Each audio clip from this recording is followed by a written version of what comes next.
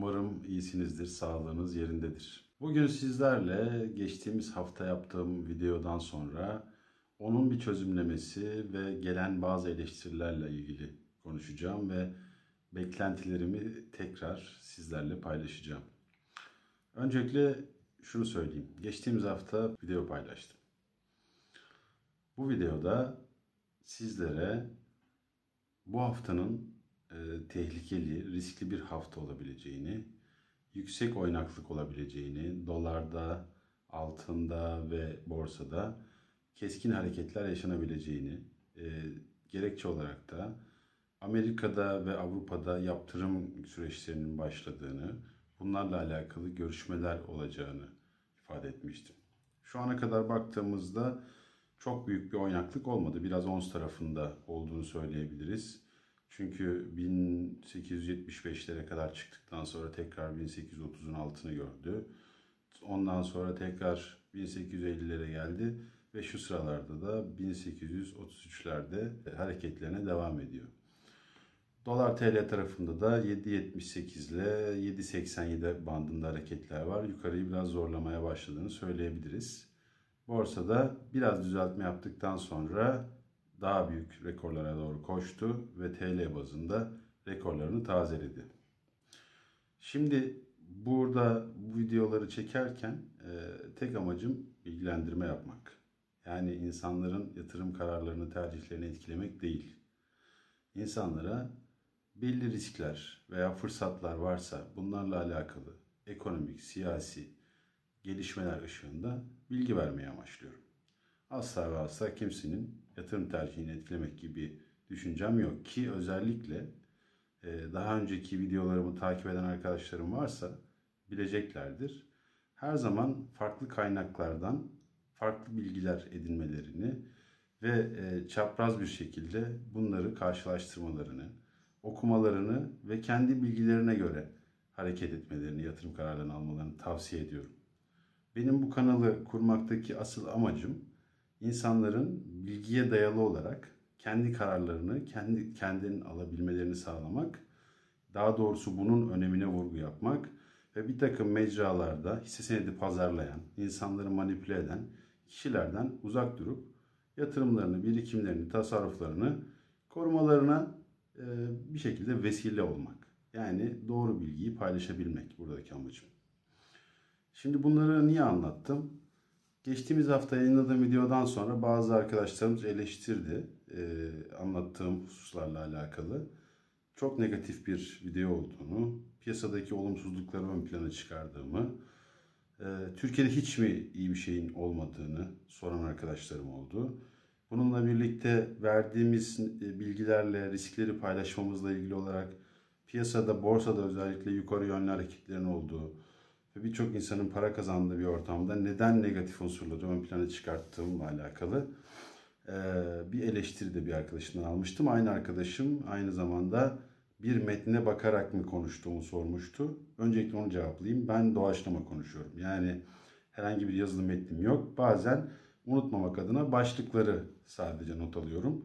Onlara bakıyorum. Onun dışında tamamen bir metinden bağımsız olarak kendim düşüncelerimi burada sizlerle paylaşıyorum. Arkadaşlarımızın eleştirilerini dikkate aldım ve çok üstüne düşündüm. Hakikaten e, negatif unsurlarımı çok fazla ön plana çıkarttık. E, burada hiç mi pozitif taraflar yok? Bunların üzerine bir çözümleme yapmaya çalıştım. E, ve bir takım sorular soracağım burada. Tabii ki canlı yapmıyoruz bunu ama e, uzaktan da olsa interaktif bir e, video olacağına inanıyorum. Çünkü sorduğum sorulara sizlerin de zihninizde cevaplar aramanızı rica edeceğim. Yani birlikte bir beyin fırtınasıyla piyasada neler yaşanıyor birlikte bir düşünelim istiyorum. Öncelikle Lagarde'dan başlayalım. Avrupa Merkez Bankası Başkanı'nın açıklamaları oldu. Herkes muhtemelen takip etmiştir. Takip etmeyenler için de tekrarlayalım. Lagarde'ın dediği şu. Avrupa 2020 yılını %7'nin üzerinde bir küçülmeyle kapatacak. Salgının ikinci dönemi yani ikinci dalgası e, son çeyrekte daha büyük bir daralmaya yol açabilir. Salgının ikinci dalgası aynı zamanda 2021'in ilk çeyreğinde de daralmaya yol açarak etkisini daha da artırarak hissettirebilir. Pandeminin ekonomiye verdiği zararları bertaraf etmek için tüm araçlarımızı kullanmaya hazırız diyor. Avrupa Merkez Bankası Başkanı bunları söylüyor. Avrupa'nın en büyük şirketleri çok büyük işten çıkartmalar yapacağını söylüyor. Amerika ile aramızdaki ilişkilerde katsa konusunda yaptırımlar geleceği artık kesin bir hale almış durumda. Muhtemelen Trump bunu imzalayacak. Çünkü takip ettiyseniz Trump'ın gidişi de biraz olaylı. Trump'ın kızıyla alakalı bir savcılık soruşturması söz konusu. Artı Trump e, koltuğu devrettikten sonra da Trump'la ilgili de bir soruşturma açılması mevzu bahis. Bu şartlar altında bu yaptırımları Türkiye'ye uygulamak isteyen ekip yani Biden'ın ekibi, Amerika'nın asıl yönetimini elinde bulunduran derin Amerika bu yaptırımları imzalama konusunda Trump'a baskı yapacak mı yapmayacak mı? Bunun cevabını vermenizi rica ediyorum. Bugün basına sızdırılan haberlerde Avrupa Birliği'nde konuşulan hususlar Türkiye'ye bir yaptırım geleceği konusunda. Bireylere de kurumlara da yaptırımlar gelebilir ve bu yaptırımların uygulanma tarihi 2021 Mart gibi söyleniyor. Bu Bloomberg'in haberi. Bunlar dünya ölçeğinde oluşan ülkemizle alakalı riskler.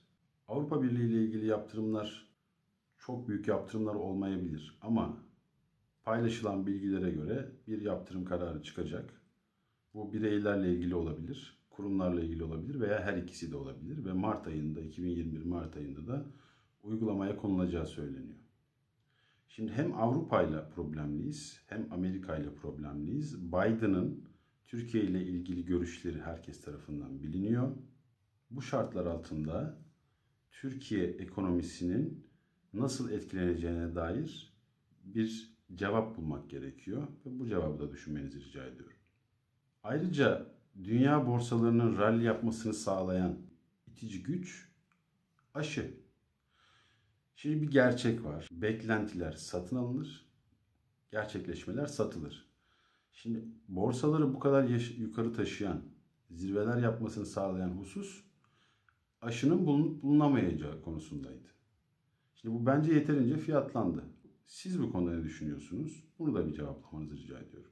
Bundan sonraki aşama aşının etkileri, aşı gerçekten salgını durdurabilecek mi ya da azaltabilecek mi? Bunun gözlemlenmesi. Şimdi bu taraftaki soruların cevabı aranacak piyasa tarafından. Ama gözden kaçan başka hususlar var. Borsalar böyle almış yürüyorken gözden kaçan en önemli hususlardan bir ticaret savaşları yeniden alevlenmeye başladı. Çinli 21 tane şirketin Amerikan borsalarından çıkarılması kararı alındı. Çin misilleme olarak Amerikalı vekillere, yetkililere bir yaptırım uygulama kararı aldı. Karşılıklı bir çatışma var. Burası çok kritik. Bunların düşünülmesi gerekiyor. Sizce bunun etkisi ne olur? Hadi diyelim ki aşı bulundu, pandemi azaldı, her şey geçti.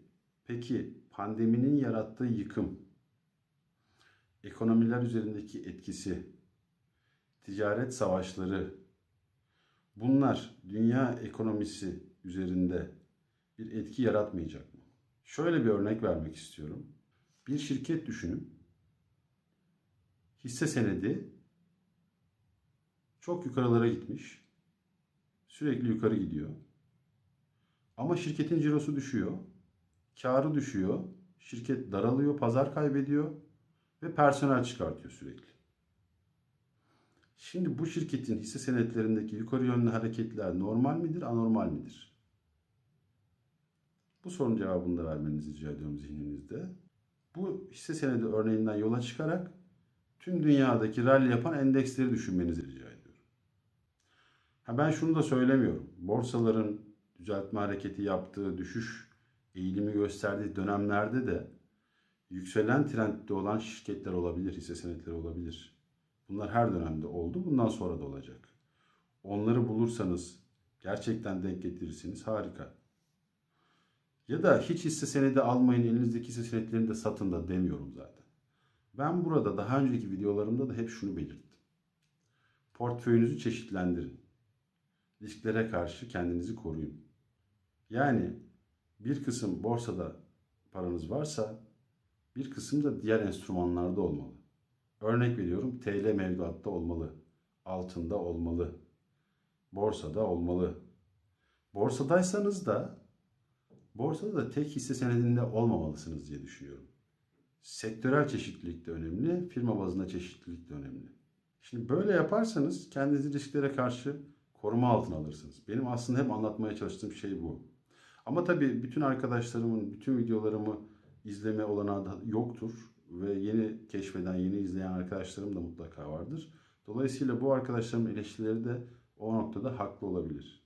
Bu şekilde anlatmak belki daha sağlıklı anlaşılması açısından daha mantıklı olabilirdi.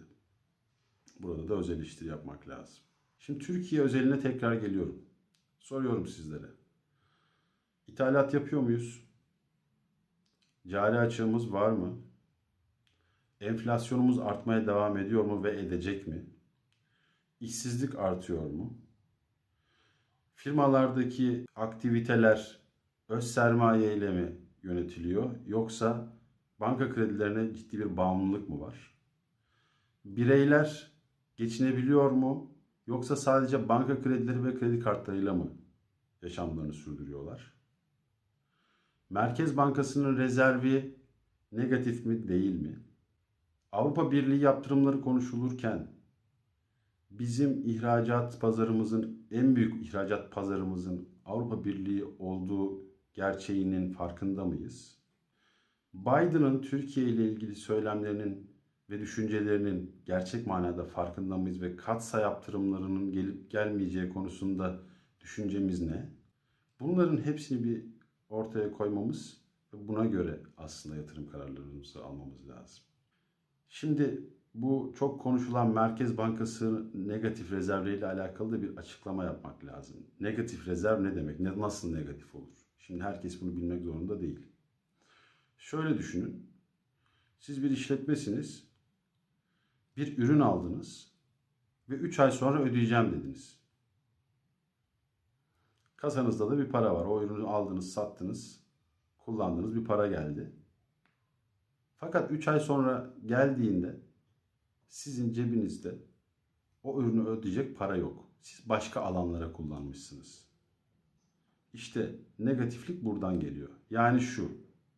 Swap kanalıyla elde ettiğiniz rezervlerinizi siz kuru aşağıda tutmak için baskıladınız. 130 milyar dolar bir satış gerçekleştirdiniz rezervlerden. Rezervleri tükettiniz. Rezervler ne demektir biliyor musunuz? Bir ülkenin uluslararası ticarette yaptığı ithalatı karşılayabilme gücünü gösterir. Yabancı yatırımcı şuna bakar. Ya bu ülkenin Merkez Bankası'nın gücüne yükümlülüklerini yerine getirebiliyor mu? Bütün kuruluşlar şunu gündeme getiriyor şu anda. Türkiye bir ödemeler dengesi problemi yaşayabilir. Bakın Türkiye tarihinde hiçbir zaman temerrüte düşmemiş bir ülke. Ne kadar ekonomik kriz yaşasa da, ne kadar büyük problemler yaşasa da her zaman borçlarını ödeyebilmiş, çevirebilmiş bir ülke. Ödemeler dengesi problemi bununla ilgili bir risk oluştuğuna dikkat çekmek için yapılıyor. Şimdi bu haberler boşuna yapılmıyor. Bu bilgilerin bir anlamı var. Şimdi yabancı yatırımcı geliyor doğru. Borsada bir ivme var. Bu da doğru. Kabul. Ve çok önemli. Ama yabancı yatırımcı gelirken doların her düştüğü yerden yerli almaya devam ediyor. Çünkü 14.03 olarak açıklanan enflasyona yerli güvenmiyor. Benim enflasyonum daha yüksek diyor. TL'de bir reel getiri görmüyorum diyor 15 faiz olmasına rağmen. Tabii ki bankalarda uygulanan faiz 16-17 lira kadar da gelmiş durumda. Kredi faizleri daha da yukarıda. Yani Merkez Bankası'ndan şimdi bir 300 bas puan da artış bekleniyor ama yapıp yapmayacağı konusunda da, bir tereddüt var. Daha doğrusu hani yapabilir mi yapamaz mı deniyor. Fakat burada sözlü yönlendirmenin de önemine dikkat çekiliyor. Peki 300 bas puan arttırdınız. Politika faizini 18'e getirdiniz. Siz elinizde dolar varsa veya altın varsa veya euro varsa bunları bozup 18 faizle TL'ye yatırır mısınız? Soru bu. yerlideki dolarizasyon 250 milyar dolara yaklaşmış durumda. Şimdi elinizde dolar bulunduruyorsunuz ve şu an 7.80. Satar mısınız, satmaz mısınız? Faizler 18'e geldiğinde. Stopajı da düşünün. Benim kanaatim şu. 18'e çekilse bile dolarizasyonu engellemeyecek bu. Faizi arttırdığımızla kalacağız. Bir, ya şok bir faiz artışı kimsenin beklemediği kadar ve beraberinde stopaj avantajı. Bu gerçekten etkiler. Hatta fazlasıyla etkiler. Yerli şunu görebilir. Ya ben TL'de %20-22 net getiri elde ediyorum. Sabit bir getiri, garantili bir getiri bu. En azından bir kısmını bozmalıyım düşüncesine girebilir. Varsayalım ki bu oldu. Yine de 250-55 milyar dolarlık e, yabancı para mevduatın ne kadarı TL'ye döner? Türkiye'de enflasyon olduğu sürece, ithalat arttığı sürece, cari açık arttığı sürece, bu kadar jeopolitik risk olduğu sürece maalesef dolarizasyon bitmez. Daha önce de söyledim. Bu dolar alan bireylerin veya altın alan bireylerin suçu değildir bana göre. Yaşanmış, tecrübe edilmiş ekonomik gerçeklerin sonucu olarak kişilerin paralısının değerini koruma refleksiyle yaptığı hareketlerdir. Önemli olan insanların bu refleksi kullanmasına neden olan sebepleri ortadan kaldırmaktır. Biz ülke olarak hepimiz dahil, bizler şahıslar da dahil sonuçlara odaklanırız. Sonuçlar üzerinden suçlamalar getiririz. Bu sonuçları doğuran sebepler vardır. Bu sebepleri çözmezsek o sonuçlar üzerinden konuşmaya devam ederiz ve bir kısır döngü içerisinde hayatımızı sürdürürüz. Evet, pozitif olmalıyız. Olumlu hususlar var. Yabancı sermaye girişi var. CDS'lerimiz 400'ün altında. Hazine Bakanı ve Merkez Bankası Başkanı gerçekten piyasada güvenilen isimler. Doğru adımlar da atıyorlar ve gerçekten hiç olmadığı kadar doğru adımlar atılıyor. Bunlar da hem fikiriz. Ama konjonktür, içinde bulunduğumuz süreç bu doğru adımların sonuçlarının istenildiği kadar olmasına engel olabilir diyorum ben. Pandemide ikinci dalga tüm dünyayı etkisi altına almış durumda. Ekonomiler kapanıyor. Ekonomiler küçülüyor, daralıyor. Jeopolitik riskler artıyor. Yani Avrupa ile Amerika ile gerçek manada doğru bir müzakere süreci yönetmeliyiz. Bir diğer tehlike tüm dünya ekonomileri için insanlar iş kaygısı yaşıyor. Firmalar batıyor ya da küçülüyor. İşsizlik artıyor. Dolayısıyla tüketim eğilimi azalıyor. Yani insanlar gelecek kaygısı duyduğu için harcayabileceği parasını da harcamıyor. Tüketim olmadığı için üretime yansıyor. Tüketim yoksa üretim de yoktur. Bu da ekonomilerde daha büyük bir daralmaya sebep olur. Bunların hepsini görerek, bilerek değerlendirmek zorundayız. Pandemi bugün bitse bile dünyanın önünde çok büyük ekonomik sıkıntılar var. Bu arada başka bir husus daha var. Piyasalar her zaman yükseliş dönemlerinde para kazandırır diye bir şey yok. Doğru, akıllı yatırım yaparsak düşüş dönemlerinde de para kazanabiliriz. Bu da aldığımız yatırım kararlarıyla paralellik içerir. Dediğim gibi tüm paramızı belli bir enstrümana bağlamazsak düşüşler fırsat getirir. Bunu doğru yönetmek bizim elimizde. Duygusal davranmayıp bir tek ürüne, bir tek enstrümana bütün paramızı, ihtiyacımız olan parayı yatırmayıp sabırla takip ederek, portföy çeşitlendirerek yatırım yaparsak düşüşlerde de para kazanabiliriz. Bu da işin pozitif tarafı aslında. Umuyorum ki faydalı olur ve sizlerden de ricam bu anlattıklarım, paylaştıklarım ve sorduğum sorular üzerine lütfen düşünün ve hiçbir zaman tek bir enstrümana bağlanarak yatırım yapmamanızı öneriyorum. Düşüşlerde de fırsat vardır, yükselişlerde de fırsat vardır. Önemli olan bilinçli bir şekilde yatırım yapabilmektir. Sevgiyle kalın, kendinize iyi bakın. Görüşmek üzere.